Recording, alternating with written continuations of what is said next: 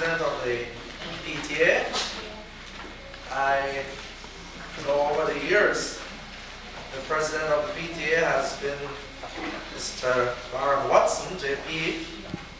And, uh, you know, when a person stays in one position for a long time, you know, it means that that person must be doing something good while he stays there. So, Mr. Watson is still in that position, and at this time, we're going to call upon him to bring us a short address.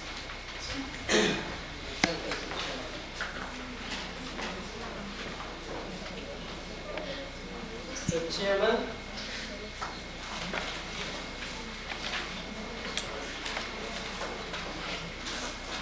Honorable guest speaker, teachers, dignitaries on the platform, parents, students, visiting friends. Behalf of the Parent Teachers Association, let me first say how happy, proud and glad I'm feeling, finding myself involved in such noble venture. Parents Appreciation Day. It's really the first of its kind in this part of our country. But viewing it carefully, one can describe this a move carefully planned, very important for the age, and one in the right direction. The worthy principal and her staff did not wait till after death. They can put in flowers on our tombs when we cannot see or hear, but rather they gave us while we can see it and appreciate. For this, I say on behalf of my colleagues, a very big thank you. Today marks an important day the lives of parents and teachers the Clarksonville Early School. Let us nourish it. Let us cherish it. So that parents who were not included in today's festival will be included tomorrow, as this is a beginning, not an end. Let me touch a little on the problems facing the school and teachers today. But a serious nature. Students violently attacking teachers. Students damaging fellow students. Coupled with the very poor working conditions has created great fears the minds of teachers. Honest-hearted parents also. Something will have to be done. More than 50% of this, let me be bold to say, is stemming from some parents, there's refusal to spend time and take a good stock of children when at home.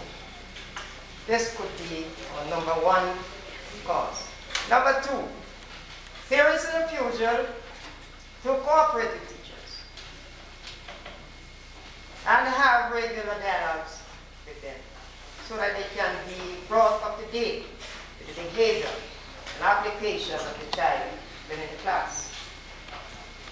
Parents sitting at home, speaking, making bad remarks about teachers the presence of the children.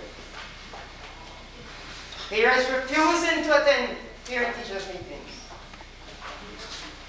There they are privy to ask questions relating to the well-being of the child. This plain and see. For the parents who attended PTA meetings, their children give less problems, the exception of a few. People in the government service are stepping away from the job because of bad working conditions and poor salary. Please remember, teachers are no exception. Please also remember that the private sector has their arms open to receive them. Parents, for God's sake, do not allow this to happen. Will mean disaster to your children. Parents will have to go out with every God-given energy to work hard, hand in hand with teachers, in laying that sound foundation and with the child baby. This wait and see attitude must be brushed aside. Start to do real business. Parents, please do not watch the wait what the future of your dear children rolling away with the wind. Old time people say, watch it, catch it, don't let it roll. I'm happy and proud of the performance of the school choir. Keep it up. The good work. Students, don't turn back. Let me know on behalf of the PTA congratulate Ms. Johnson and her staff for this noble venture. It's a clear sign that Clarksonville High School, amidst problems and hard times, standing tall. Let's hope that programs like this will one day be a yearly thing. Give a little assistance to the nursing of the school, maintaining the school, should be the duty of everyone in the community. community. so, to those who are not doing it, to those who are doing it, keep doing it. And those who are not yet started, may this program prompt you to do so. Let me close by reminding you that it is everybody's business in this dark world of ours to root up all the weeds we can make room for the flowers. I thank you very much for your patience here, and thank you very much,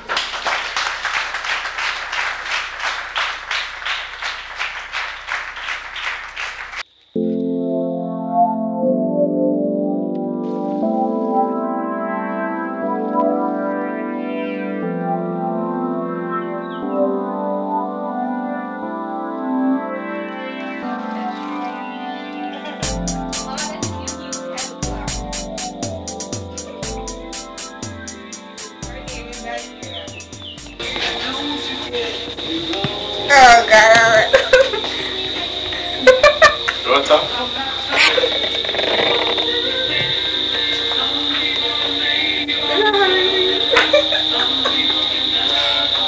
Hello, Mama.